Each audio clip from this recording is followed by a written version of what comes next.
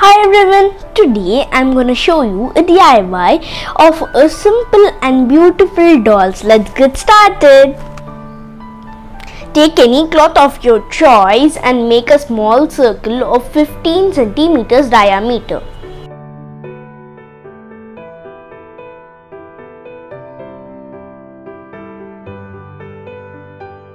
Make a smaller circle of 8 centimeters. Now we have two circles. Make a simple stitch around the two circles separately.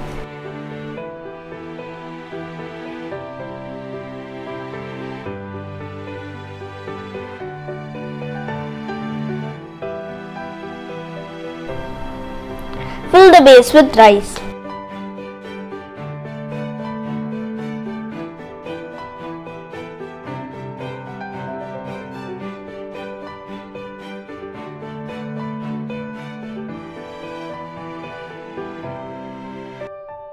Make a knot on the top.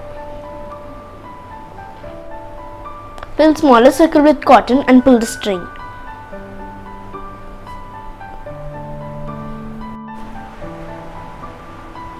Attach with the base.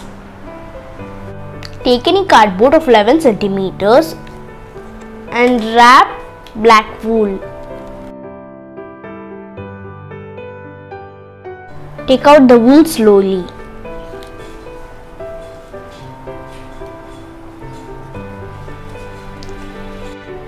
Place it on the doll and make a stitch in the middle.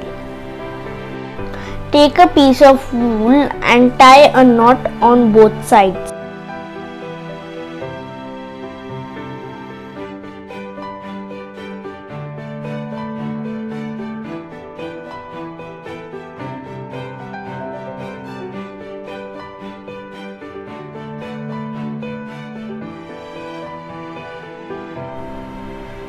Just using glue gun to stick the pearls and roses.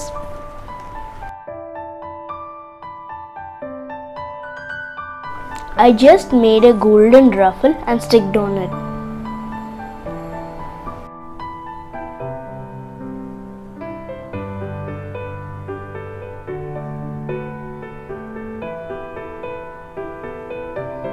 Hope you like my DIY of dolls. If you like my video, please like, share and subscribe to Gyanada's Creative Hub. Thank you for watching.